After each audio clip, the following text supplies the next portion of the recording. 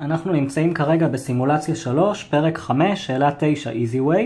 אז מבחינת ה-Easy זיהוי שלנו, אנחנו יכולים לראות שיש לנו פה שאלת בעיות כלליות. כי בעצם יש לנו שאלה פה שהיא לא במונחים של ה-Easy זיהויים שאנחנו מכירים, ומבחינת ה-Easy סיווג, יש פה שאלת נעלם, כי שואלים אותנו כמה עולה דירה אחת. עכשיו, זה בעצם סיפור מילולי שאנחנו יכולים מהר מאוד להפוך לבעיה כמותית. וילה יהיה, בואו נעשה רשימת מכולת. אז וילה זה V, ודירה זה D, אני נותן את האות הראשונה, ועכשיו פשוט רושמים את המשוואות. V ועוד שני D שווה ל-50. אני לא כותב 50 מיליון, גם ככה התשובות, הם, הם, אנחנו יודעים שהן במיליון, אבל בעצם אנחנו צריכים להגיע למספר דו-ספרתי. אז V ועוד שני D שווה ל-50, ומצד שני 5V ועוד 4D שווה ל-190. מעניין אותי הדירה, אז מה אני אעשה? אני אבודד את ה-V. ה-V לא מעניין אותי. אני אמצא כמה הוא שווה, ואני אציב אותו במשוואה השנייה. אם אני מעביר אגפים במשוואה הזאת, המשוואה הראשונה, אני מוצא ש-V זה 50 פחות 2D.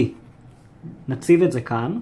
5 בסוגריים 50 פחות 2D ועוד 4D שווה ל-190. עכשיו נפתח את הסוגריים.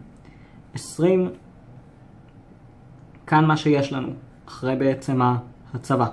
250 פחות 10D ועוד 4D שווה ל-190.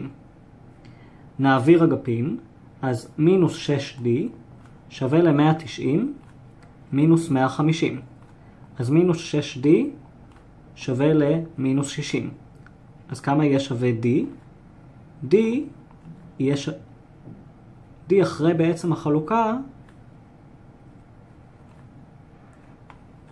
יהיה שווה ל-10. תשובה מספר 4. מה אפשר ללמוד מהתרגיל הזה? אז איזי זיהוי בעיות כלליות עושים רשימת מכולת, אם אנחנו רוצים למצוא נעלם, מסדרים את שתי המשוואות ועושים פשוט הצבה. הנעלם שלא מעניין אותנו הוא זה שאנחנו מבטאים באמצעות השני. בהצלחה.